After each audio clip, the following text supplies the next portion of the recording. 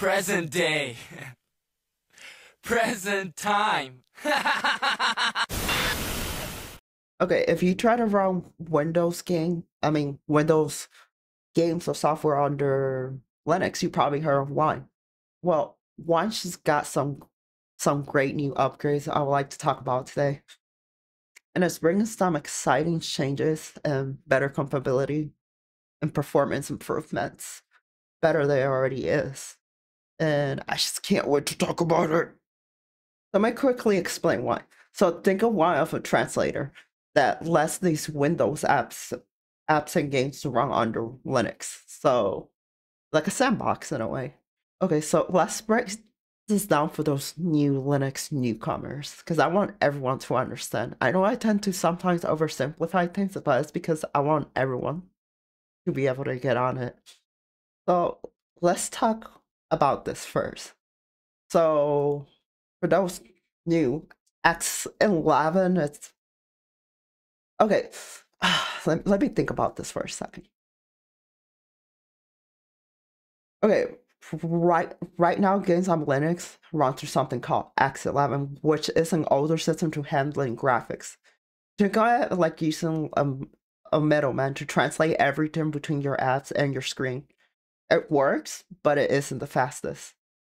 Well, with Wayland support and Wine, there's no middleman for for for apps and games, so it could talk to it. It talks directly to Wayland, which means smoother graphics, less lagging, overall better performance. It's like upgrading a driving, like a bumpy road from an envelope payphone, or even a better analogy.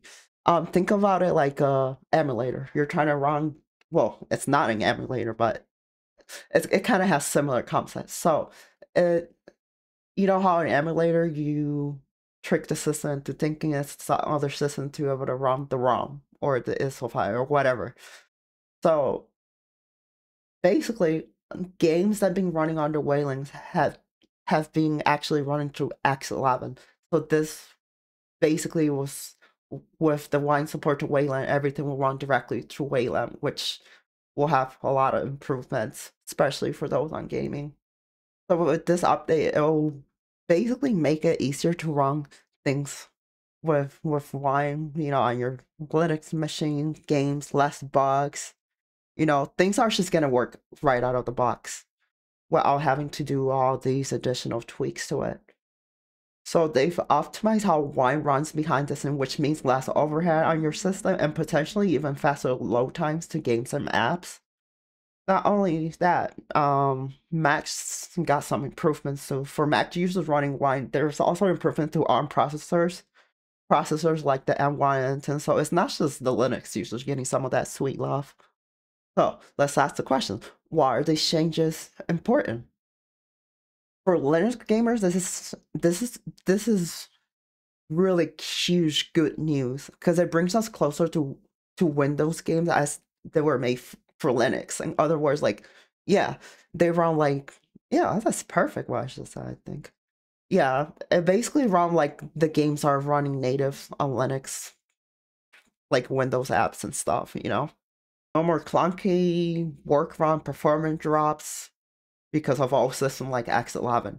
It's also a bigger movement of moving um, Linux into a more fu- future proof with with Wayland, which is the direction that most distros are heading at this point. So Wine 10.0 is a massive step for Linux gamers and app users.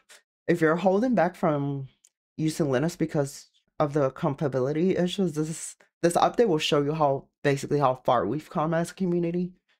So down in the comments, just let me know what what what what Windows apps or or games you you like to run under Wine, and stay tuned because this is gonna be great. As always, I know I kind of suck at this video because I, I suck at wording. English is not my first language. I'm just good at mimicking accents.